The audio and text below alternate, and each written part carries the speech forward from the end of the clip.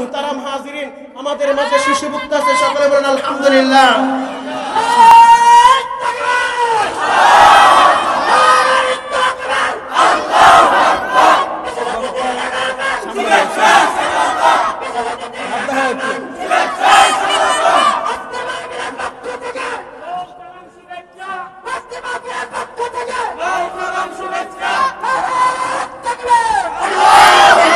আলহামদুলিল্লাহ শিশু বক্তা এরপরে জিয়াদি হুজুর আসবে। আল্লাহ একবার বলে। এবং আমি যেই দেশে জন্ম নিয়েছি, আমার দেশে কয়েকটা জন্ম নিয়েছে। এর ভিতরে আরেকজন হলো অলিকুল শিরোমণি মুজাহিদে আজম। যিনি তৎকালীন ক্ষমতায় থাকা আইয়ুব খানকেও পরোয়া করেন নাই। হক কথা বলতে গিয়ে, কোরআনের কথা বলতে গিয়ে, যার নাম হলো মুজাহিদে আজম। আল্লামা শামসুল হক ফরিদপুরি কথা বলেন? আমার দেশে আর একটা সিংহ পুরুষ জন্ম নিয়েছে, হাজি শরিয়তুল্লাহ রহমতুল্লাহ আলাই। সকলের জন্য আমরা দোয়া চাই, বিশেষ করে করোনা মহামারীর ভিতরে। কত মানুষ চোখের সামনে বিদায় নিল, মালিক আপনাকে আমাকে দয়া করে মায়া করে এখনও সুস্থ রাখছেন এই জন্য মালিকের দরবারে শুক্রিয়া আদায় করে, আলহামদুলিল্লাহ। দোয়া করি, আল্লাহ! করোনা দিয়ে আমাদেরকে শেষ করে দিও না। ডেঙ্গু দিয়ে আমাদেরকে শেষ করে দিও না। আমরা যেন ইমানের হালতে বাঁচতে পারি ইমান নিয়ে বাঁচতে পারি ইমান নিয়ে মরতে পারি কবুল করে নাও সকলে বলেন আমি আমি আলোচনা করব না আলোচনা করবেন আল্লামা ইলিয়াসুর রহমান জিয়াদি সাহেব হুজুর। এক যুগ আগে এই বীরবাগের বয়ান করছে হুজুর। এক যুগ আগে বয়ান করছে এই মঞ্চের ভিতরে অনেকে আছেন এবং এই এলাকার সাবেক মেম্বার যিনি তিনিও আমাকে বলছেন যে হুজুর জিহাদি হুজুরের বয়ান শুনে আমি মেম্বারের মুখে দাঁড়িয়ে উঠছি। সুবহান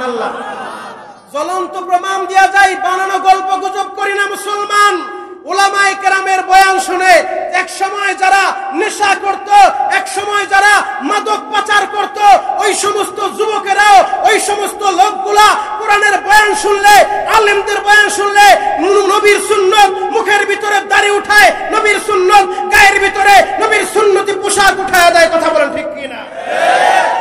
কোরআনের মাহফিলের দরকার আছে না নাই? আরও আসতে বলেন আছে না নাই? তবে যে জায়গায় ভালো কাজ সেই জায়গায় এক শ্রেণির লোক থাকবে এর বিরোধিতা করবে কথা বলেন ঠিক কিনা? মসজিদ মাদ্রাসা ভালো কাজ এই মসজিদ মাদ্রাসার বিরোধী পার্টি আছে না নাই? সব জায়গায় থাকবে নবীর জামানায় ছিল জ্বলন্ত প্রমাণ দেওয়া যায় মুসলমান। আমাদের নবীর বয়স যখন চল্লিশ বছর চল্লিশ বছর পর্যন্ত মক্কার আবু জাহেল উদ্বা সাইবা মক্কার কাফেরেরা আমাদের নবীকে আল আমিন বলতো বিশ্বাসী বলতো সমস্ত কাফেরেরা তাদের টাকা পয়সা স্বর্ণালঙ্কার আমাদের নবীর কাছে আমানতদার রাখতো। কারণ আমাদের নবীর মতো এমন আমানতদার পৃথিবীর বুকে আর কেউ নাই, কথা বলা ঠিক আমাদের নবীর কয়টা গুণ আপনাদের সম্মুখে আমি বলব? এ মুসলমান ইমানদার, যেই নবীকে আল্লাহ রব্বুল আলামিন রহমাতুল্লিল আলামিন করে পাঠিয়েছেন, যেই নবীর সেই দয়ার নবী, মায়ের নবী চল্লিশ বছর পর্যন্ত তার এলাকার লোকজন, নেতৃবৃন্দ সবাই আল আমিন বলতো, বিশ্বাসী বলতো, যেদিন আমাদের নবী, যেদিন দয়ার নবী, মায়ের নবীর উপরে কোরআন নাজিল হলো, গারে হেরা থেকে এসে নবীজি যখন পাহাড়ের উপরে দাঁড়িয়ে তার গোত্রের লোকদেরকে ডাক দিলেন, এরপরে নবীজি বললেন, আজকে যদি আমি বলি, এই পাহাড়ের পিছনে শত্রু বাহিনী দাঁড়া আছে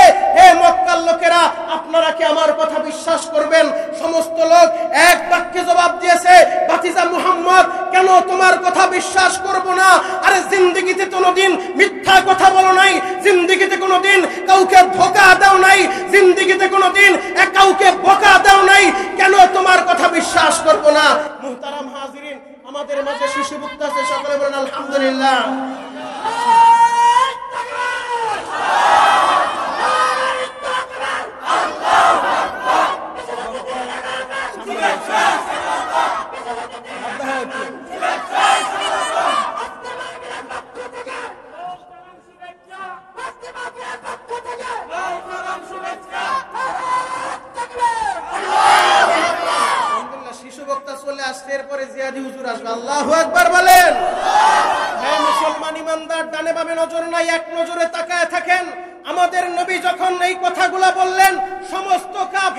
vocês! কেন তোমার কথা বিশ্বাস করব না? এক বাক্যে বিশ্বাস করি, যখনই নবীজি কোরআনের কথা বললেন, ইসলামের কথা বললেন, তখন থেকেই আবু জেহেল বলে বাতিজা এই জন্যই কি আমাদেরকে জমায়েত করছ?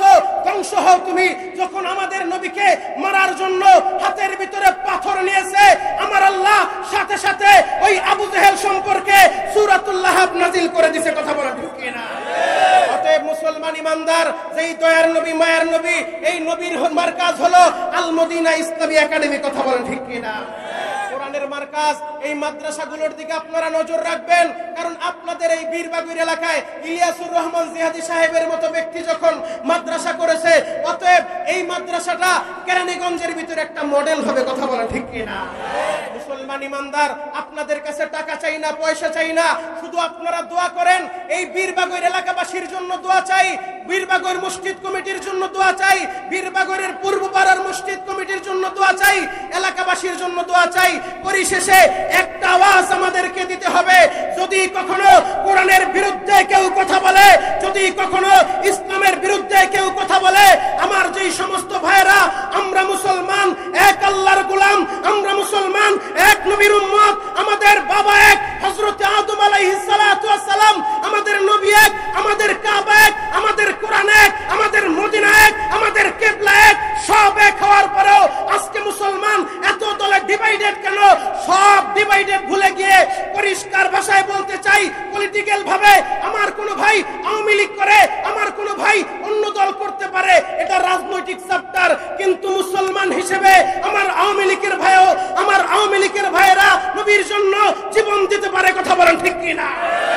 যদি কখনো কোনো কুলাঙ্গার নবীর বিরুদ্ধে কথা বলে, কোরআনের বিরুদ্ধে কথা বলে, এই বীরবাগর এলাকা থেকে বীরবাগরের এই হাজি সাহেবদেরকে নিয়ে তৃপ্ত কণ্ঠে আওয়াজ দিবা, ওই নাস্তিকের উপযুক্ত জবাব দিতে কারা কারা প্রস্তুত আছো কারা কারা প্রস্তুত আছো নারায় তাকবীর নারায় তাকবীর ইসলামের শত্রুরা নারায় তাকবীর হে হাজি সাহেব বাজানরা যুবক বন্ধুরা ডানে বামে নজর নাই এক নজরে তাকায় থাকেন গো বাজান আল্লাহর নবী দয়ার নবী মায়ের নবী উম্মতির দরদি নবী দুনিয়া থেকে বিদায় নেওয়ার আগে আল্লাহর নবী ঘোষণা করলেন ফীকুম আমরাইন মা বিহিমা সুন্নাত রাসূলি। ও আমার রে, ও আমার সাহাবীরা রে, আমি তোমাদের মাঝে দুইটা জিনিস রেখে গেলাম। এক নাম্বার হলো কোরআন, দুই নাম্বার হলো আমি নবীর সুন্নাহ। এই দুইটা গুণ যদি তোমরা আঁকড়ায় ধরতে পারো, এই দুইটা জিনিস যদি তোমরা ধরতে পারো, শক্তভাবে মজবুত ভাবে তোমরা পথভ্রষ্ট হবে না, তোমরা লাঞ্ছিত হবে না, তোমরা অপমানিত হবে না।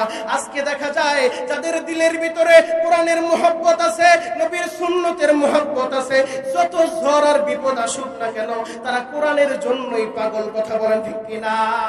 তারা মসজিদ মাদ্রাসার জন্য পাগল। আপনারা দেখেছেন, গত সপ্তাহে একটা ভিডিও ভাইরাল হয়েছে আপনারা দেখছেন? ওই সাতক্ষীরার জমিনে আহারে জ্বরের কারণে ঘূর্ণিঝড়ের কারণে, এ যুবক ভাইরা, এ পর্দার আমার মা বোনেরা, আমি মনিরুল ইসলাম চোখের পানি রাখতে পারি নাই। জ্বরের কারণে, আহারে ঘূর্ণিঝড়ের কারণে এলাকার সব কিছু ডুবিয়া গেছে। মসজিদের চতুর্দিকের মহল্লাগুলো ডুবিয়া গেছে, কিন্তু মসজিদটা ওই পানির মধ্যখানে অবস্থিত অক্ষত অবস্থায় আছে। ওই মসজিদ অক্ষত রাখছেন কে?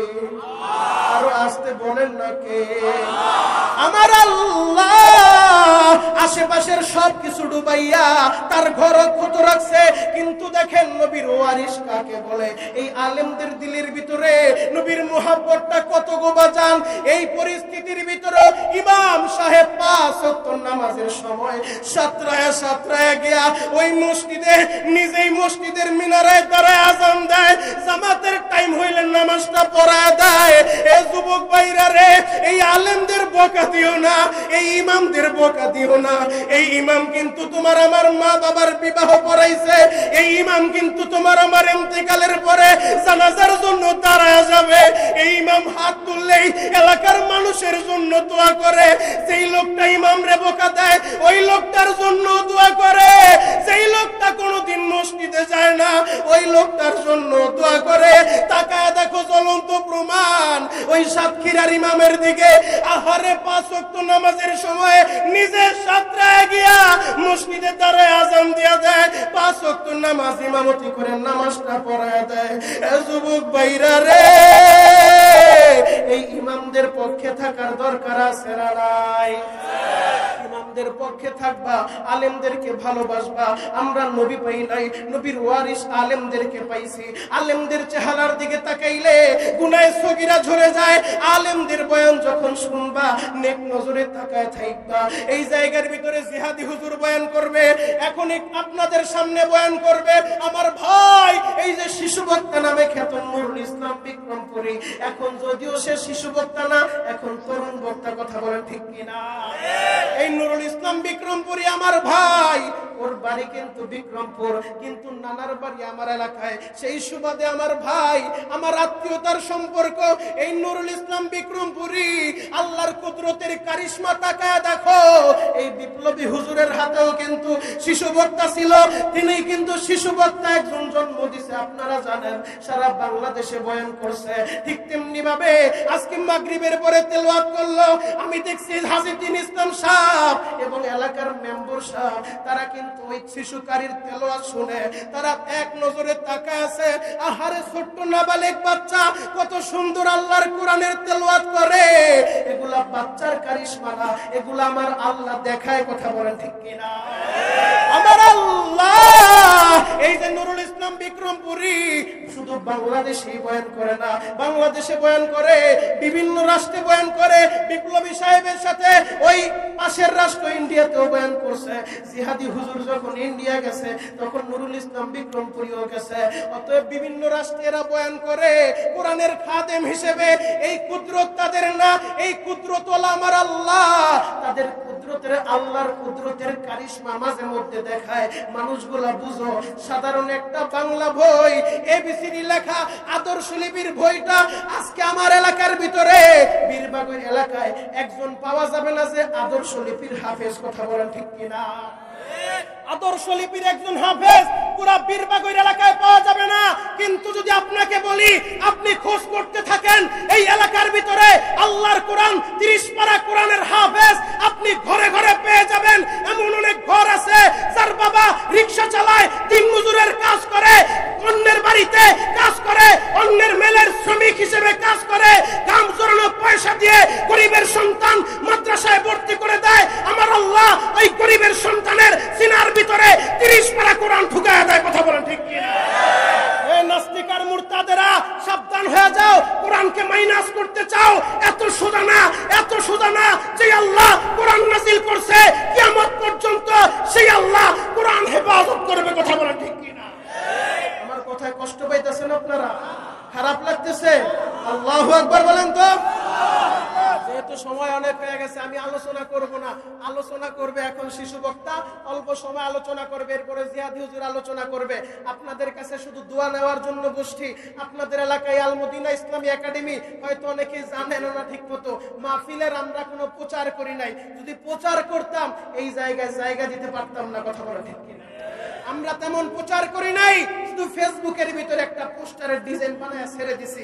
আর এই যে দেখেন কিছু হ্যান্ডবেল, এই হ্যান্ডবেলগুলো শুধু বানাইছি বাড়ি বাড়ি কয়েকটা বাড়িতে দাওয়াত দেওয়ার জন্য। অন্য কোনো উদ্দেশ্য না, আমরা একটা পোস্টার লাগাই নাই কোথাও। এরপর আলহামদুলিল্লাহ, আল্লাহ তালা তার বান্দাদেরকে বিভিন্ন জায়গা থেকে পাঠায় দিছে। সেই ফরিদপুর থেকে আসছে। আমি অবাক হয়ে গেছি, মার্চ মাসের এক তারিখ আমরা প্রোগ্রাম করেছিলাম, সেই খুলনা কয়রা থানায়, একেবারে সুন্দরবন এলাকার কাছে। কয়রা থানা থেকে ওই জায়গায় লোক আসছে? ওই যে ওই ছেলেটাই কয়রা থানা থেকে আসছে? আল্লাহ একবার বলেন। গাজীপুর থেকে, সিরাজগঞ্জ থেকে, দিনাজপুর থেকে এই জায়গায় লোক আসছে। আল্লাহ একবার বলেন। এগুলা কে করে? আরও জোরে বলেন, কে করে? আল্লাহ আগামী বছর ইনশাআল্লাহ এই এলাকার হাজি সাহেবদের নেতৃত্বে তাদের পরামর্শ ক্রমে এই জায়গার ভিতরে কেরানীগঞ্জের সর্বশ্রেষ্ঠ মাহফিল হবে। একটা মুসলমানের গণজমায়েত হবে। ইনশা ইনশা আলমদিন একাডেমির দিকে আপনাদের নেক নজর চাই। আছেন তো সবাই, ইনশাআল্লাহ। এই জায়গার ভিতরে বর্তমান প্রেক্ষাপট অনুযায়ী মানুষ, অনেক মানুষ আছে, তার ছেলেকে মাদ্রাসায় দিতে চায় না। বলে মাদ্রাসায় বাংলা অঙ্ক, ইংরেজি নাই। আমরা এর বাস্তবতা দেখাইতে চাই। আমরা গল্প গুজবে বিশ্বাসী না। আমরা বাস্তবতা দেখাইতে চাই আলমদিনা ইসলামী একাডেমির ভিতরে আপনার সন্তানকে বাংলা অঙ্ক, ইংরেজি সহ ধর্মীয় যত জ্ঞান আছে, আপনার সন্তানকে শিক্ষা দেওয়া হবে। আমাদের এখানে প্রাথমিক অবস্থায় প্লে থেকে নিয়ে পঞ্চম শ্রেণি পর্যন্ত চালু করছি। এরপরে ধারাবাহিকভাবে ইনশাআল্লাহ এই মার্কাজ দাওরাই হাদিস পর্যন্ত আল্লাহ কবুল করুক। সকলে বলেন, আমিন। আপনাদের সন্তানদেরকে এই মাদ্রাসায় দিবেন। যেহেতু জিহাদি হুজুরের মতো ব্যক্তি এই জায়গায় সম্পৃক্ত, তার প্রতিষ্ঠান, অতএব জিহাদি সাহেবের যেমন নাম, তার কাজটাও তেমন হওয়া যায়। কথা বলা ঠিক কিনা? আল্লাহ তাআলা জানি মাদ্রাসাকে কবুল করে, মাহফিলের জন্য যারা এত শ্রম দিয়েছেন মেম্বার সাহেব আজিদ্দিন ইসলাম সাহেব এবং এই এলাকার আরও যে সমস্ত নেতৃবৃন্দ, এই মসজিদ কমিটি, পূর্বপাড়ার মসজিদ কমিটি এবং এই এলাকার ইমাম সাহেবরা, বিশেষ করে আমার যুবক ভাইরা, তাদের কথা আমি না বলে পারছি না। রিফাত শাহিন ফয়সাল এরপরে এই যে দাঁড়ায় আছে সিরিয়ালে, এই যুবকদের দিকে তাকায় দেখেন, এরা রাত দিন খাটাখাটনি করেছে এই মাহফিলটার জন্য। আল্লাহ একবার বলেন। গতকাল রাত বারোটা পর্যন্ত এরা খাটছে, মাহফিলের মাইক কোন জায়গায় লাগানো যায়? অল টাইম আমার কি করা লাগবে? আমার কি খেদমত করতে হবে? আপনি শুধু বলেন, আমি আল্লাহর নামে শপথ করে বলি, একটা কাপ চাও তাদেরকে আমি এখনও পর্যন্ত খাওয়াইতে পারি নাই। বরংস কখনো চায়ের কথা বললে উল্টা তারা আমারে খাওয়ায়। আলহামদুলিল্লাহ, বলবেন না? এই যুবকরা নিঃস্বার্থ ভাবে আলেমদেরকে ভালোবাসে, মাদ্রাসাকে ভালোবাসে। এই বীরবাগরের যুব সমাজ একটা মডেল হবে, আলহামদুলিল্লাহ বলেন। বীরবাগরের মুরব্বীরা এদেরকে দিক নির্দেশনা দিলে, কারণ এরা গানের পিছনে শ্রম দেয় নাই, এরা কোরআনের পিছনে শ্রম দিতে চায়। মুরব্বীরা যদি এদেরকে সঠিকভাবে পরিচালনা করতে পারে, আমার মন বলে কোনটা ইউনিয়নের ভিতরে সর্বশ্রেষ্ঠ একটা গ্রাম হবে, এই বীরবাগর আল্লাহ একবার বলেন। এই যুবকের আদর্শবান যুবক হবে, এদের জন্য আপনাদের সকলের কাছে দোয়া চাইলাম। আল্লাহ যেন যুবকদের মনের আশা পুরা করে, সকলে বলেন আমি এ পর্যায়ে আপনাদের সম্মুখে গুরুত্বপূর্ণ বক্তব্য রাখবে আমার ভাই, শিশু বক্তা নুরুল ইসলাম বিক্রমপুরী। লিল্লাহে তকবীর! লিল্লাহে তাকবীর!